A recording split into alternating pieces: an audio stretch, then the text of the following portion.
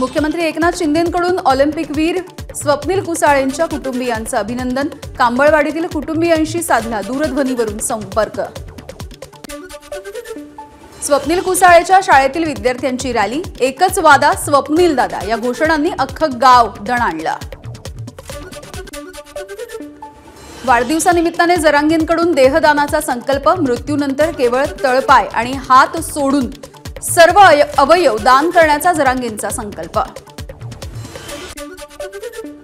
महाराष्ट्रातील सर्व समाज ओबीसी आरक्षणामध्ये जात नाही तोपर्यंत ईडब्ल्यू एस रद्द करू नका मनोज जरांगे यांची सरकारकडे मागणी.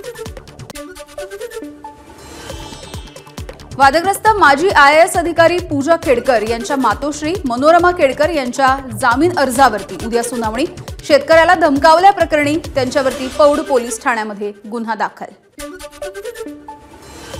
विविध मागण्यांसाठी नऊ ऑगस्टला एसटी कर्मचाऱ्यांचं आंदोलन. मागण्यांवरती तोडगा न निघाल्यास तीव्र आंदोलन करू एसटी कामगार संघटनेचे नेते श्रीरंग बर्गे यांचा इशारा. जळगावमध्ये सोनं खरेदीसाठी नागरिकांची तुफान गर्दी. सोन्याच्या जीएसटीमध्ये वाढ होण्याची शक्यता असल्यामुळे ग्राहकांची सोनं खरेदी करण्यासाठी मोठी गर्दी. रायगडमध्ये चार ऑगस्ट पर्यंत ऑरेंज अलर्ट. जिल्ह्यामध्ये काल रात्रीपासून मुसळधार पाऊस. पावसाचा जोर कायम राहिल्यास सावित्री आणि कुंडलिका नद्यांच्या पाण्याच्या पातळीमध्ये वाढ होण्याची शक्यता.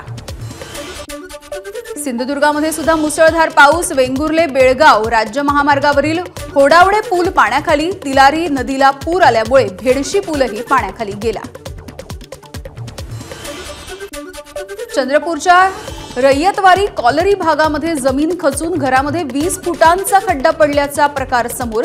अतिवृष्टी आणि कोळसा खाणींमुळे भूभाग पोकळ झाल्यामुळे जमीन खचून खड्डा पडल्याची प्राथमिक माहिती.